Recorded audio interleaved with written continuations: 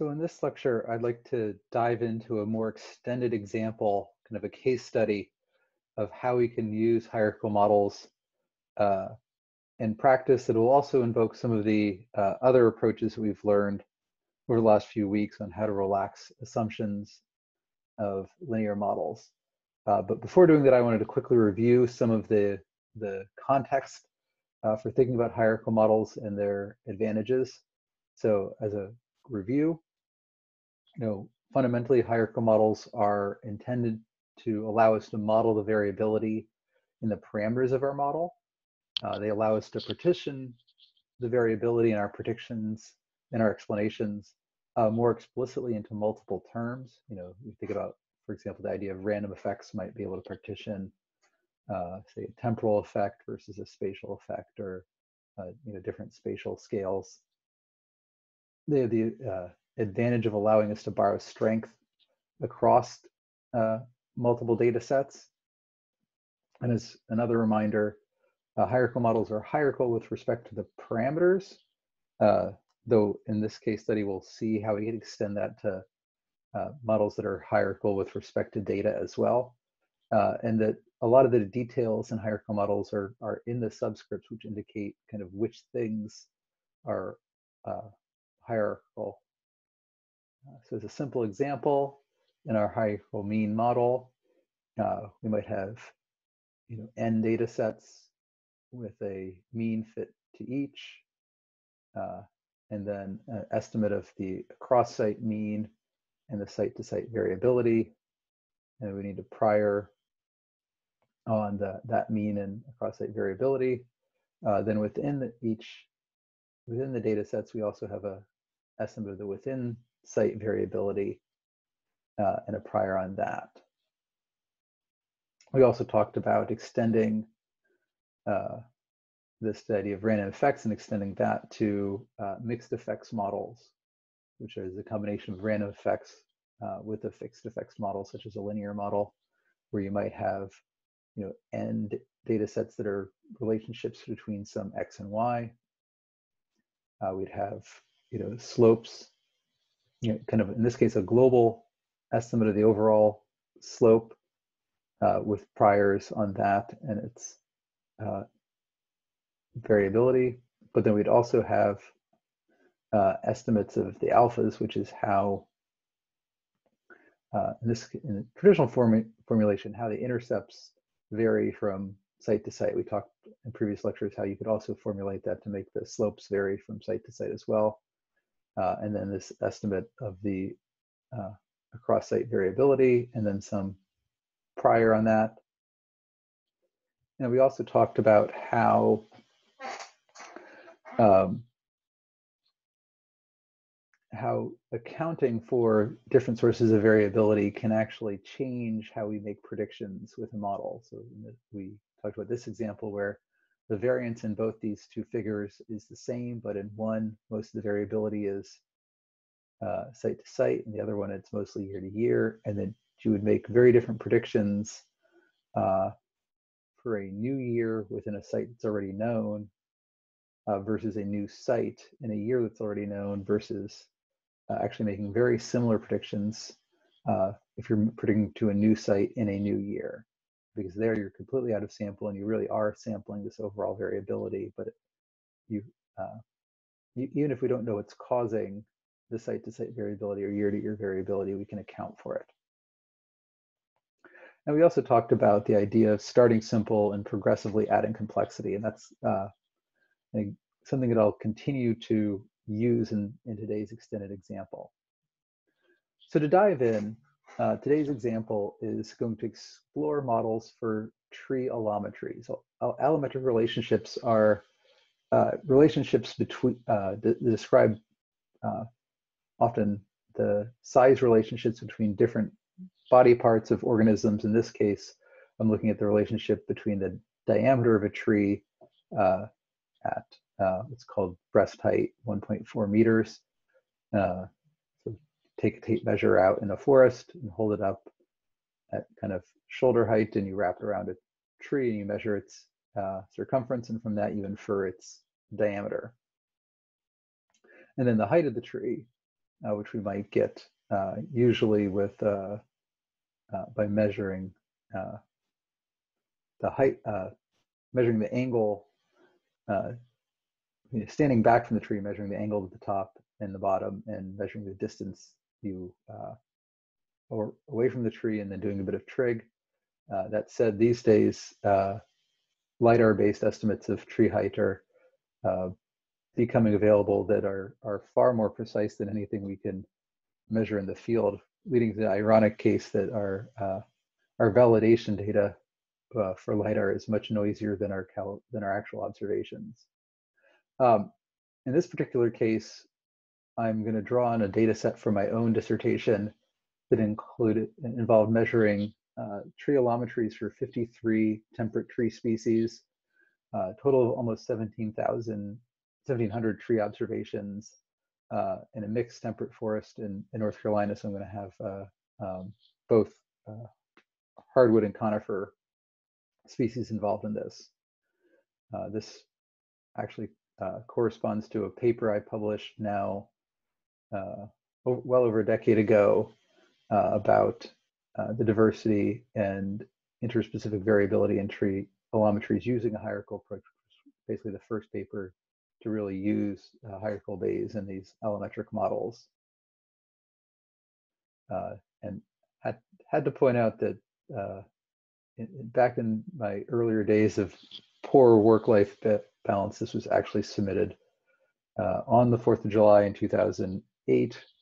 And uh, which was actually the day before my wedding, the 5th of July 2008, because uh, I really, really needed to get this paper off of my plate before heading off on my honeymoon and heading off to start my first faculty job shortly thereafter. Um, a little bit of personal history with this one. So the motivation for this study uh, was basically that we are uh, very often fitting these allometric relationships in ecology, uh, both uh, for theoretical purposes. You know, there's uh, questions about the the scaling of uh, organisms uh, and their allometric relationships, and then practical purposes. So very often, you know, we use, for example, uh, allometries between, say, tree diameter and tree biomass, or tree height and tree biomass, to infer the biomass in a forest uh, without having to cut it down. So these kind of biomass allometries end up being very critical to a lot of terrestrial carbon budget work, uh, both theoretically and uh, practically in terms of things like carbon monitoring. Um, one challenge, though, is that it can be difficult to fit uh, site and species specific relationships for these allometries, particularly as the diversity of forest, the diversity in a forest increases. So you have more species and more and more rare species. Uh, what is often done, and I think is still the status quo in the tropics, is to resort to what are called global allometries, allometries that fit across all the species and ignore species to species differences or, or handle them uh, by including simple proxies uh, as covariates such as wood density and assuming that wood density explains everything that causes different species to be different. Um, one thing that's important to note about uh, ig ignoring those sort of species to species differences is that those species to species differences are not random error or the site to site differences are not necessarily random error. They can introduce biases and, and those sorts of biases uh, do not average out with a, a, large sample size. So unlike you know the the tree to tree variability that you might see in a real forest, uh, just because of the quirks of uh, history uh, and growth and things like that, uh, you know that that sort of variability, the residual error, uh, actually does average out quite quickly with as you increase your sample size. but if there's systematic biases, those those don't average out.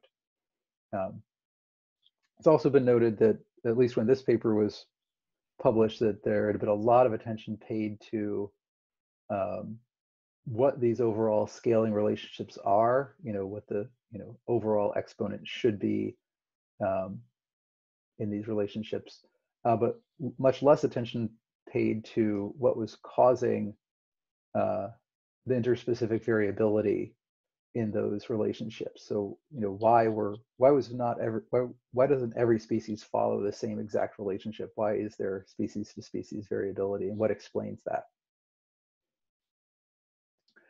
Uh, in this uh, example, I'm going to um, focus on power law relationships. These are relationships that take the form of uh, our y is some uh, scalar constant times uh, our x raised to some exponent b.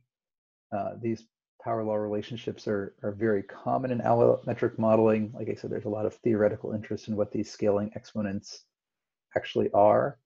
Um, in practice, um, we see if you take this power law relationship and you take the log of both sides, you'll end up with a, a log-log linear model where you know, the log of y equals some intercept plus some slope times the log of x, where b is that uh, slope.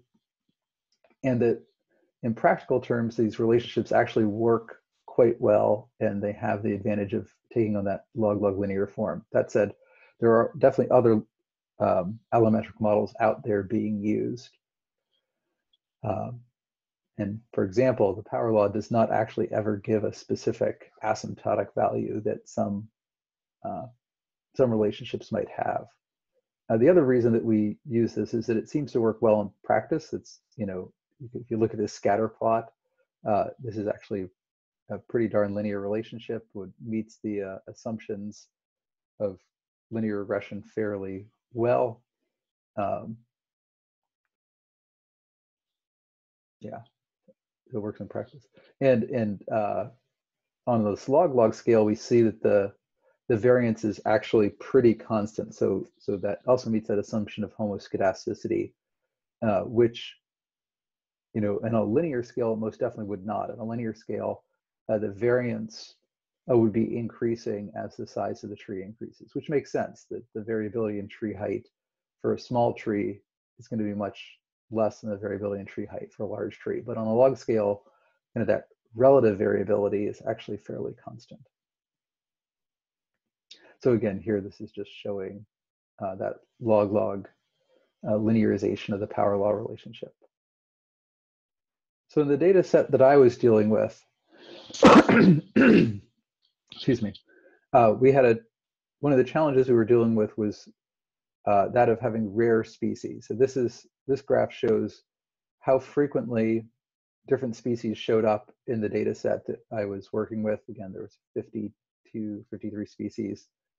Um, so the mean species had 32 uh, observations, while the median only had 18 and I had uh, six species with only three to five observations. You know, so we have a few, a small number of uh, common species that make up the, you know, a large fraction of the the sample size. So there's like one, two, three, you know, nine of those species had the sample size over 50. Um, while the, the remainders had much smaller sample size. And this was done ac actually not with a random sample of individuals in the forest. This was actually done after stratifying that sampling. The actual uh, abundances uh, within the, the actual forest itself is far more skewed.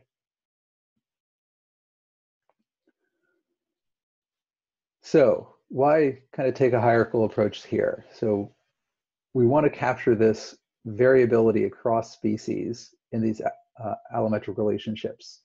So here what we're going to do is we're going to treat the regression parameters as coming from a common process, uh, but accounting for random species to species variability. So there's going you know, there's, there will be some overall uh, intercept and mean, uh, slope and intercept to the uh, kind of global allometric relationship, but then there will be species specific uh, slopes and intercepts. And then this estimate of uh, the cross species variability in those slopes and intercepts. So let's look at this hierarchical linear model graphically first. So here the x's are diameters, the y's are heights. I have this for 53 species. I'm going to come up with, in this case, the betas. Here is the vector of the intercept and slope. So I've got uh, 53 of those. And then I have this estimate of the, the residual error uh, around those allometric relationships. And, and for simplicity, I'm going to assume that that residual variability is shared, which um, is pretty consistent with the, the figure we just looked at, showing that that variance was pretty constant. So I need to have a prior on that. Uh, and then I have this estimate of the uh, cross-site variability in intercepted slope. Again, this, this capital B here is a vector, these betas are a vector. And so that this tau squared is the estimate of uh, a, you know, across species variability in the slope and intercept, and then I need priors on that. Writing this out more fully, I'm going to take h is the log of height, d is the log of diameter, and so we have h is normally distributed around a linear model of d uh, with some residual variability sigma. Uh, our parameter model uh, describing the variability in uh, each of these B's, these betas, uh, which has a, a, overall global mean and a cross-site, a cross-species variability, then priors on the sigma, prior on the tau, and prior on the uh, across species means for the intercept and slope. If I took this overall model and looked at uh, the things being estimated and how we might estimate them. So first of all, the things that need to be estimated, there's the sigma, the tau, the global B, and then all of these betas. If we look at these, uh, we can see that we can actually Gibbs sample all of these. So the betas involve just the our likelihood uh, times the parameter model, because those are the only terms involve the betas. Uh, the sigma includes the likelihood and the prior on sigma. Uh, the global parameter values involve the parameter model um, times the prior on the B's, and then the tau, the estimate of cross, cross species variability includes the parameter model and the uh, prior on tau. So this figure shows an example of what these fits look like. And let me walk you through what we're looking at here. So first, uh, let's start on the left-hand side uh, with this column of three panels. Uh, ACRU is Acer rubrum, Nyssa, NYSY is Nyssa sylvatica, uh, and ULAM, AL is Ulmus alata. So this is a maple, uh, Tupelo, and, and elm. Uh, the black line with gray uh, interval estimate is the hierarchical model fit uh, to that data. So uh, again, the hierarchical model is, is a linear model. Uh, the red line is the fit that you get just from LM. So this is uh, you know just your traditional linear model, and then the this blue, purplish blue horizontal line is an estimate from the uh, US Forest Service Silvics manual about what the adult height of these trees are. So you can kind of see uh, the data sets uh, across all these species tend to peter out at that you know, near that adult height. And, and again, the uh, both the x and the y axis are uh, on a log scale. So this first left-hand column uh, represents common species. So these are species where we have large sample sizes and where our, uh, because we have large sample sizes, our estimates uh, from the hierarchical model and our estimates from just LM are, are pretty much uh, spot on the same because what we're seeing in that case is uh, that the large sample size uh, is overwhelming the prior, even though in this case the prior is a, a a hierarchical uh, parameter model that actually has a decent sample size itself. You know, so the prior has uh, 53 data points associated with it for the 53 species. Uh, the middle column, uh, which is a, a, walnut, oak, and uh, pine, uh, represents species that were that, that had a you know they weren't specifically rare in the plot, but these were species that were only found in the canopy. They, they were not reproducing in the stand, so there were no small or medium-sized individuals. There were only mature adults. And, and because of that, we could only sample a relatively small range of sizes for these species. And you know, the result of that is that the, the fits from LM by itself often did not make sense. So in this case, you know, for this oak and this walnut, you know, the, the LM fits, the independent fits uh, that was not constrained at the hierarchical level actually predicted that trees uh, got, you know, started out very, very tall when their diameters were very, very small. And then as their diameters increased, the trees got shorter, uh, which is just biologically implausible. Uh, you know, that, that is not how plants grow. Uh, by contrast, this hierarchical model uh, shows a much more sensible relationship. It's, it's borrowing strength from the common species to say, uh, you know, I, I, can tweak the slope and intercept slightly to be able to go through uh, the observed data cloud. Uh, particularly in this case, I think the intercept is what will respond more than the slope. But you know, because we have this hierarchical constraint that you know the slopes for these common species are all pretty similar that kind of helps nudge the slopes for the um, species that were not well distributed um, to make sense and, and you know share information about the general patterns for how trees grow from the common species. Uh, and then the, in the right-hand column, we have species that tend to be in the understory. You can see this by the fact that their adult heights are a good bit lower than the other species. Uh, they, these also tend to be a little bit more rare. And again, we get much more biologically plausible fits for how these trees grow uh, by leveraging the hierarchical fit. So in this first case, you know, there was would have been no relationship between diameter and height.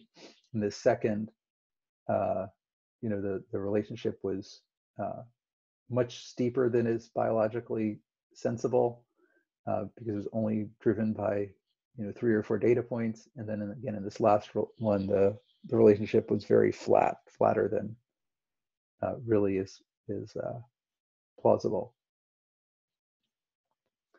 cool so this was kind of the first stage of this analysis of, of building this hierarchical model uh, with this hierarchical uh, slope and intercept. So we're allowing both the, essentially allowing a random effect on both the slope and the intercept.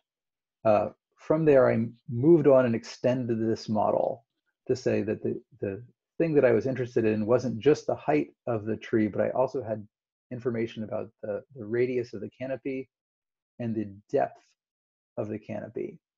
Um, and I was, in this case, I was actually interested in doing this modeling in order to uh, represent uh, trees in a in a three-dimensional model of the canopy uh, for doing sort of these light analyses. In fact, I've, I've referred to that analysis uh, right at the beginning of this semester, uh, and I'll come back to it uh, a couple lectures from now about how we can combine information from field measurements, models, and remote sensing to understand the canopy light environment.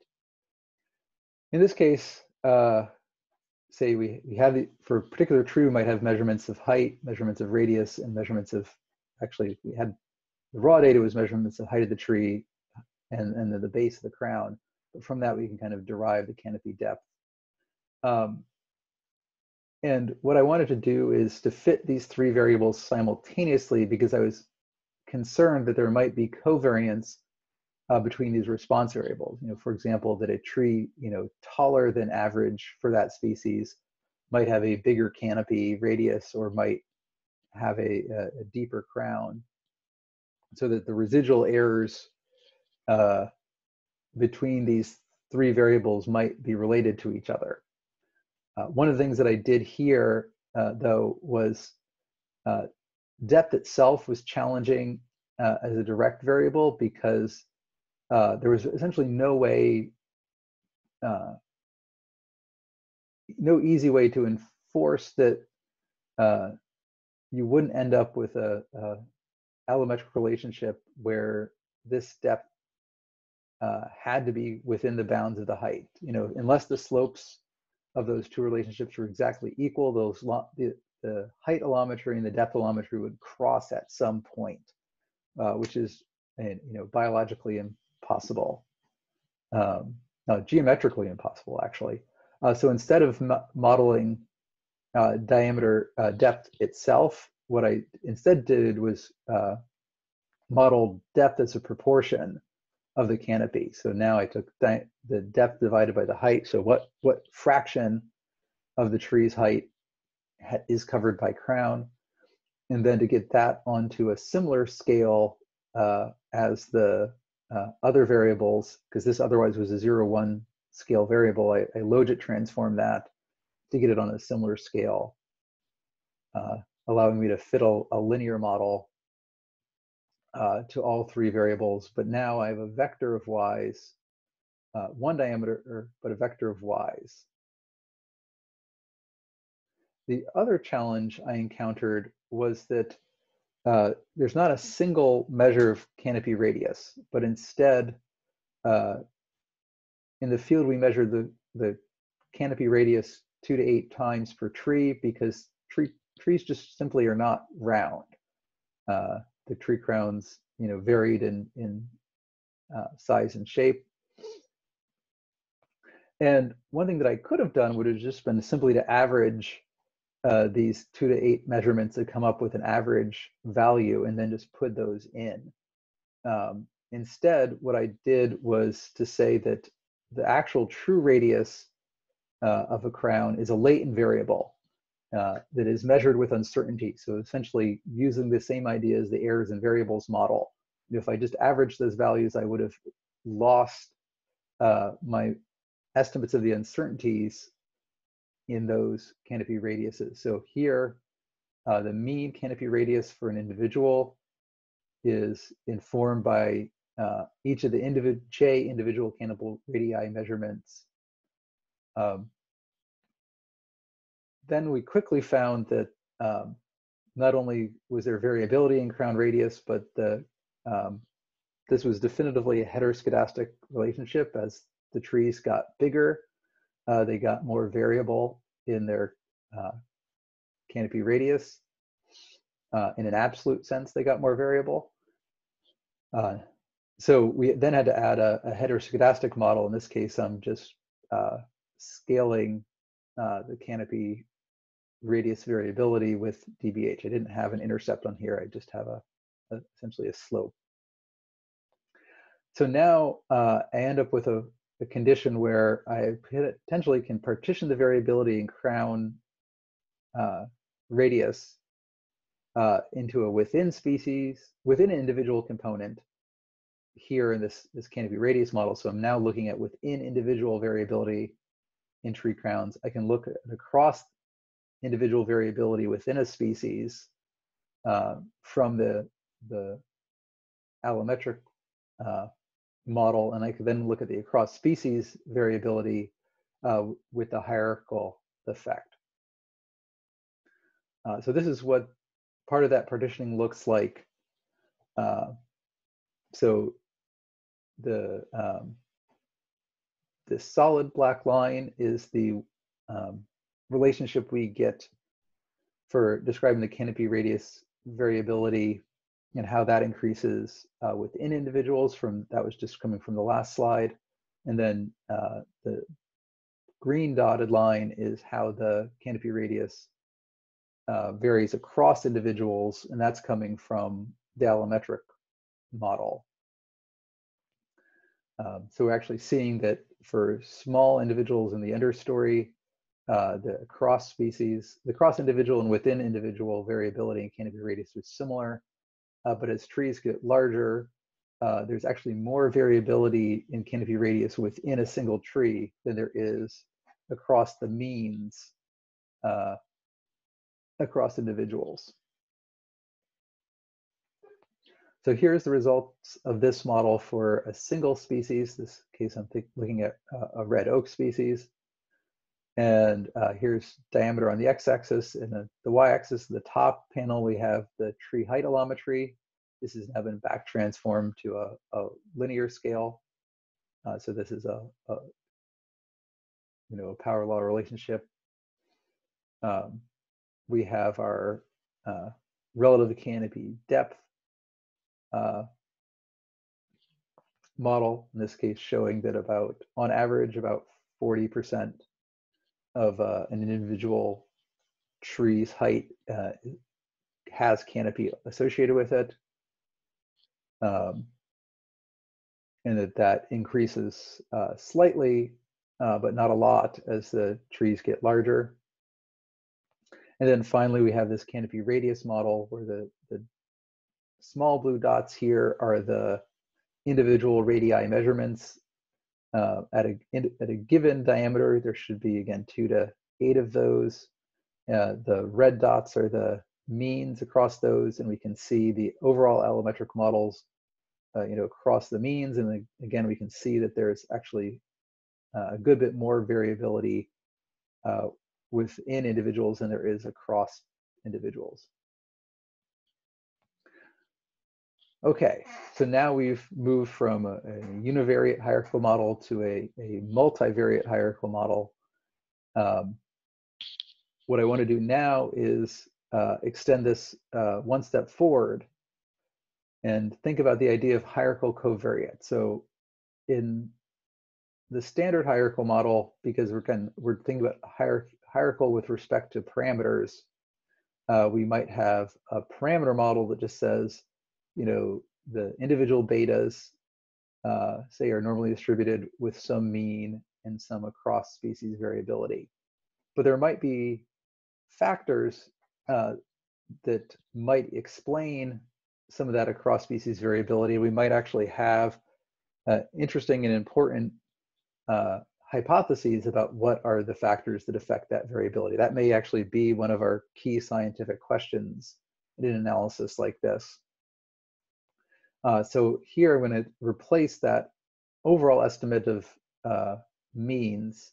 You know, in this case, this b was just uh, a vector of uh, gave me the mean intercept and the mean slope, and I'm going to replace that with uh, a linear model where z is a set of across species covariates. So you know, uh, you know, before I had an x and a y, where the y is the individual level observations, uh, and x's are the individual level covariates. And now I have this z's, which is this hierarchical level covariates that I'm using to try to explain the variability in the betas.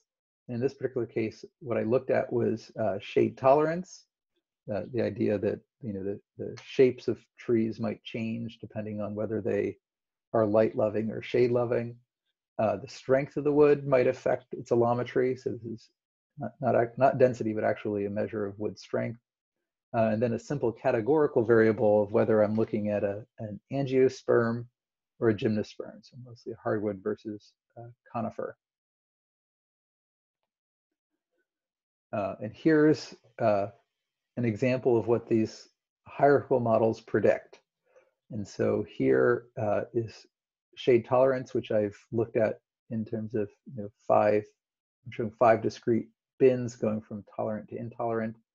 And we see that uh, there actually is an effect of shade tolerance on all of these allometries, particularly, you know, uh, for a given diameter, uh, shade tolerant species are shorter uh, than shade intolerant species.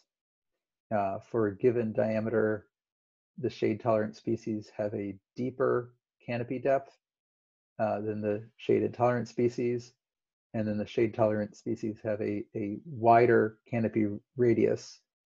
Uh, so kind of corresponding to somewhat our classic expectation that you know our fast-growing light-loving species are taller but with narrower, uh, shallower canopies, uh, but our shade-tolerant species uh, are shorter but broader uh, and, and, have deeper canopies. Uh, this other set of panels looks at the relationship between wood strength and the canopy allometries. We'll see that the height and canopy radius actually have very little influence. That so uh, wood strength has very little influence on canopy on overall tree height or canopy radius, uh, but does have an effect uh, on the canopy depth. So uh, in this case, uh, stronger woods actually have a, a less deep crown. So one of the neat things about this hierarchical model structure is that it allows us to think about how we would make uh, predictions. Um, so we, we've already thought about how we can borrow strength uh, to improve our understanding of species that are poorly measured. But if you take that to the limit, you would ask, well, what is what would I infer about a species that's never been measured at all? So the hierarchical model actually allows us to make predictions about an unobserved species.